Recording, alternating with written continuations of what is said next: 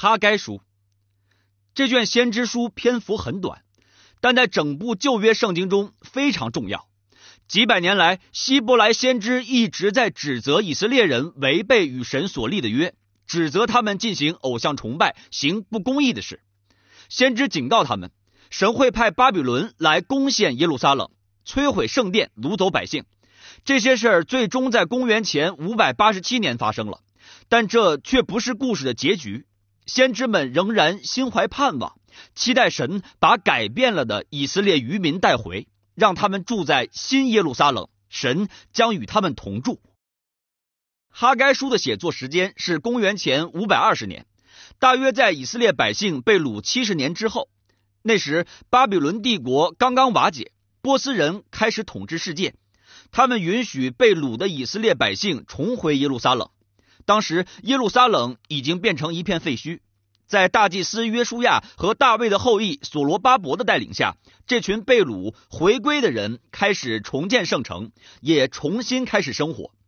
这些事儿在以斯拉记一到六章中也有记录。对此，我们充满期望，感觉未来似乎一片光明。可惜现实并不美好，至少在哈该看来，问题不少。哈该书包括四个部分。概括了先知哈该在四个月里对耶路撒冷居民传讲的信息。哈该一开始就指责以色列民弄错了先后次序。是的，他们已经回到了耶路撒冷，但他们却把所有的时间和资源都用在重建自己家的豪宅上，完全不顾圣殿。从七十年前被毁到现在，圣殿仍是一片废墟。哈该问：“你们自己的房子真的比你们对神的忠诚更重要吗？”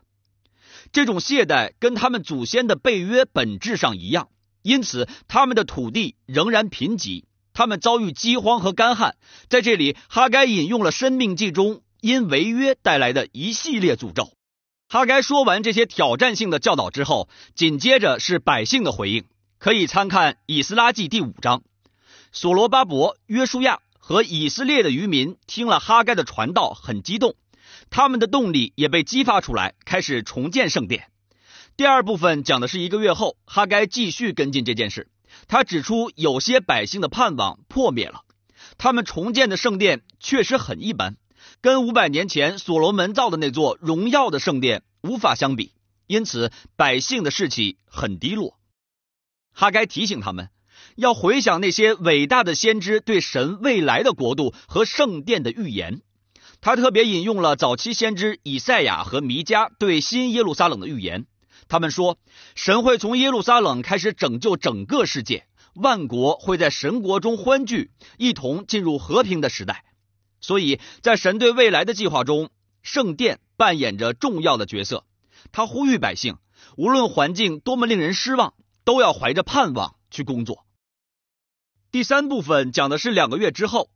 哈该继续呼吁百姓持守圣约，他同一些祭司谈论宗教仪式方面的圣洁内容，都记载在立位记中。他说：“如果有人因摸死尸染了污秽，然后又去碰一些食物，这些食物也算污秽吗？”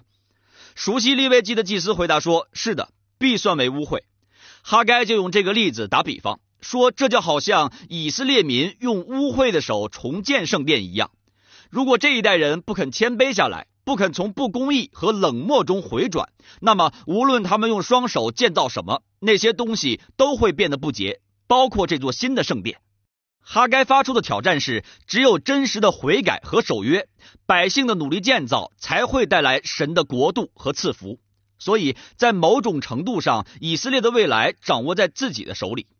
神等待子民向他表示忠诚。哈该摆在贝鲁一代人面前的选择，跟摩西摆在旷野一代人面前的挑战非常像。百姓的顺服会带来祝福和成功，悖逆则会导致灭亡。在书卷结尾，哈该总结了对未来神国临到的盼望：神会让新耶路撒冷成为全世界的荣耀中心，他将从那里开始对抗和战胜列国的邪恶。神提醒百姓回想法老的军队如何失败，他们又如何走出埃及这段历史。神会履行他对大卫的承诺，兴起从大卫后裔而出的君王。在哈该的年代，所罗巴伯是这位君王的代表。哈该书在结尾指出，未来是否有盼望，选择权在百姓的手中。问题是，与哈该同时代的人会选择忠实于神吗？他们会经历到应许的实现吗？所罗巴伯会忠诚到底吗？他是那位以赛亚君王吗？你需要继续读最后两卷先知书《撒加利亚书》和《马拉基书》，才能找到答案。但可以看到，这卷短小的先知书包含了对神每一代子民的挑战。他指出，我们的选择很重要，神子民的忠诚和顺服能影响神在世界上的工作。这个惊人的真理应该激励神的百姓谦卑下来，有所行动，同时盼望神国的降临。这就是哈该书的精义。